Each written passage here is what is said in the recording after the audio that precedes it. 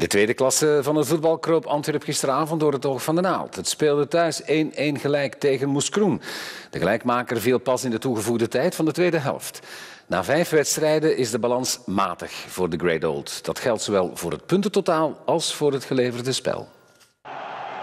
Dit zijn beelden van Dennis van Wijk voor de wedstrijd met een brede glimlach bij Gunter Hofmans.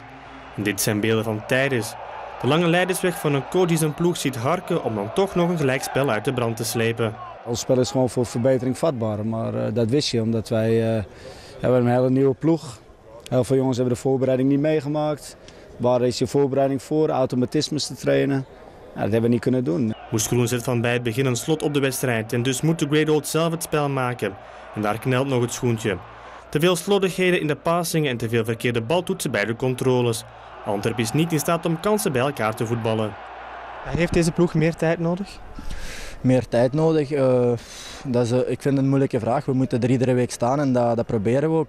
Maar het is wel uh, duidelijk dat we nog ja, iets meer op elkaar moeten ingespeeld geraken en de, de, combinaties beter moeten zijn. Ik denk dat dat excuus toch misschien mag beginnen wegvallen en dat we ja, toch zeker na het eind van de maand volledig klaar en op, op elkaar moeten ingespeeld geraken.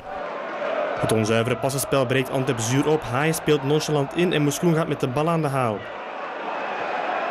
In de mum van tijd staat Kiter alleen voor doel en die werkt beheerst af. De 0-1 komt hard aan.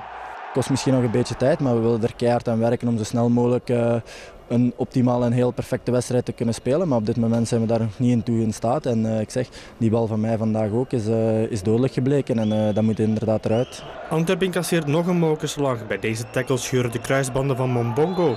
De pijnlijke grimas van de Congolees zegt genoeg. Wellicht komt Mombongo dit seizoen niet meer in actie. In de tweede helft knokt Antwerp zich terug in de wedstrijd met meer wilskracht dan kunde. Maar dichter dan een paar schotjes uit de tweede lijn komt de thuisploeg niet. Antwerp lijkt op weg naar een eerste thuisnederlaag. Het verdient eigenlijk wel een punt. En dat vinden de Henegouwers blijkbaar ook.